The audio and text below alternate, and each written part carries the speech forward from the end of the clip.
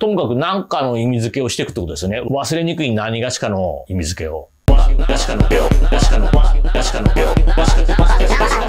この音楽講座、前回のでロジックの取説読んだとして、その次、設定なんだけど、まずやるのは、ショートカットのやつで全部選択する。そして全部消す。むしろ使いもしないショートカットを間違って押しちゃうぐらいならそんなもんない方が良い。つうか、ロジックはこの押し間違いでいらない編集が反映されちゃってるの無駄すぎる浪費が頻発な感じでして。そんなとこで余計な時間使っちゃう前に、ショートカットのプリセットは全部消しとく。もちろんその前に OS のショートカットも全部消しとく。ファンクションキーも OS 縛りから全部解放しとくと。MacOS のシステム環境、キーボード、キーボードショートカットで OS のショートカットを全部消す。例外として、前の入力ソースを選択だけは残してんだけども、ファンクションキー、標準のファンクションキーとして使用にチェック入れとく。でもって、ロジック立ち上げて、ロジックメニューのキーコマンドの割り当てを編集で、キーコマンドを全部選択して、削除ボタン。タッチバーも全部削除。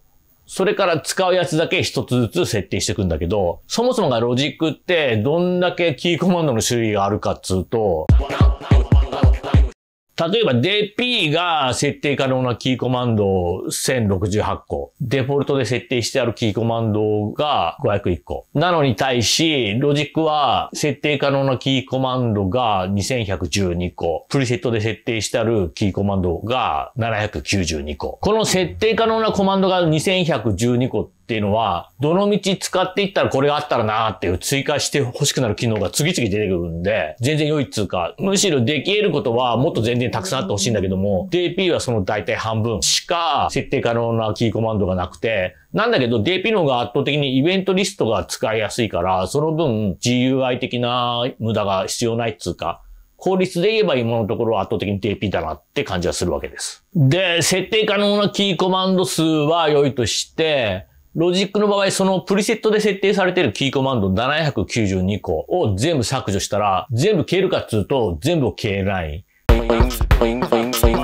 セーブとかカット、コピー、ペーストとか、アンドゥとかならまだしも、必要ないというか全然ない方がいい、消したはずのキーコマンドが72個も強制的に復活されるみたいでして、コマンド M なんかは無駄タッチの音章になるので、本当どうにかしてほしいんですが、ともかく消せるだけ消したら、次に使うやつを覚えれるだけ追加していくってことでして。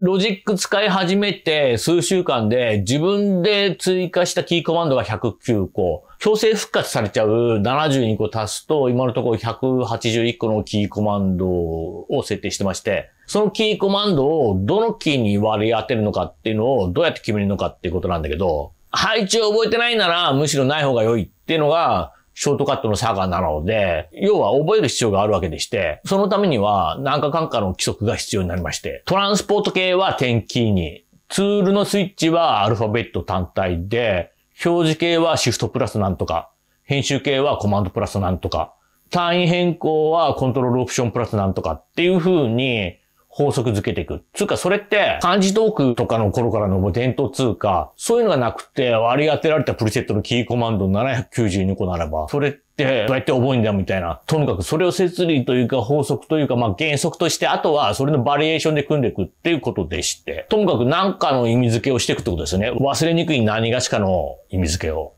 わさ、わさ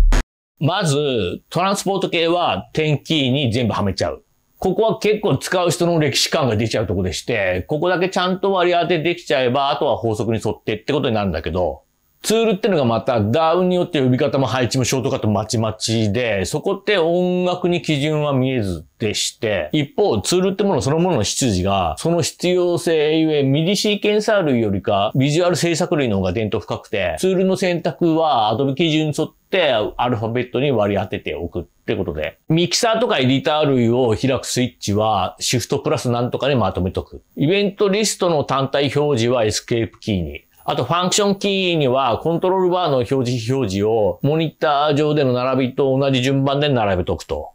Splice、Snip、シフトとか分割とかのタイムラインの編集コマンドは、コマンドプラスなんとかの、そのなんとかを全部左手だけでスイスイやりまくれる位置に配置する。何回かやってみて落ち着いたらそのキーコマンドを Melodyne とかのプラグや Adobe とかのタイムラインを扱うツールに今度はむしろ音楽側から同じキーコマンドを割り当てて使用感を統一しちゃう。最初にトランスポート系を点キーにまとめて、早送り巻き戻しは点キーの4と5に割り当てたんで、ここではその操作についての単位を同理化していく。四部単位のロケートはコントロールプラス4と5。8部単位のロケートはコントロールプラスオプションプラス4と5。16部単位のロケートはコントロールプラスオプションプラスコマンドプラス4と5。1フレ単位のロケートはコントロールプラスオプションプラスコマンドプラスシフトプラス4と5。といった感じで割り当てる。同じ通りで、小説単位でのナッチはコントロールプラス左右矢印。白単位でのナッチはコントロールオプション足す左右矢印。キク単位でのナッチはコントロールプラスオプションプラスコマンドプラス左右矢印。サンプル単位でのナッチはコントロールプラスオプションプラスコマンドプラスシフトプラス左右矢印。な割り当て方ですね。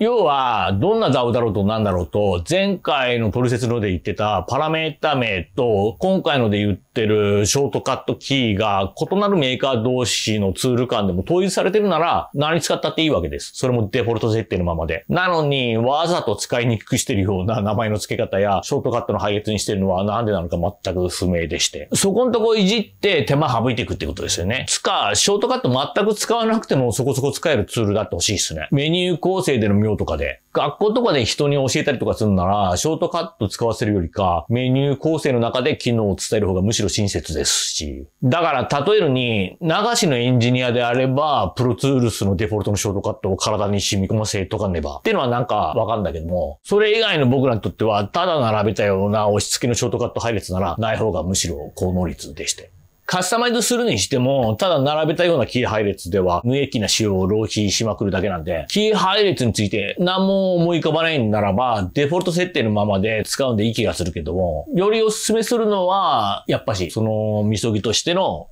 全消しですね。バンド、